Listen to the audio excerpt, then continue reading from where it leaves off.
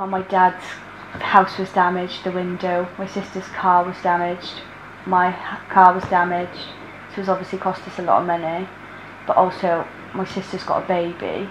So it's quite worrying that if the baby was in the house at the time, the baby would have been injured or someone else would have been injured.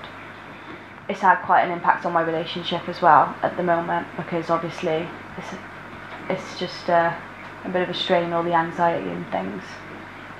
I can't travel on my own at all. I don't go anywhere without anyone. Obviously, it, it was my only vehicle, so I've got to like have lifts off friends and things. But I don't go anywhere on my own. My family won't let me because they're worried that for well for my safety.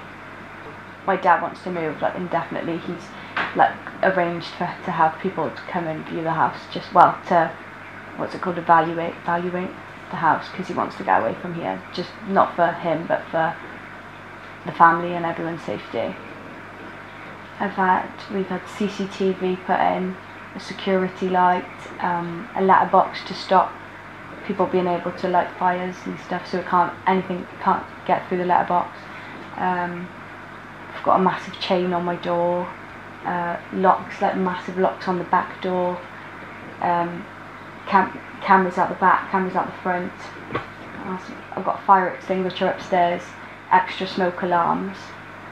Um, I think that's about it. As much as we can, everything we can.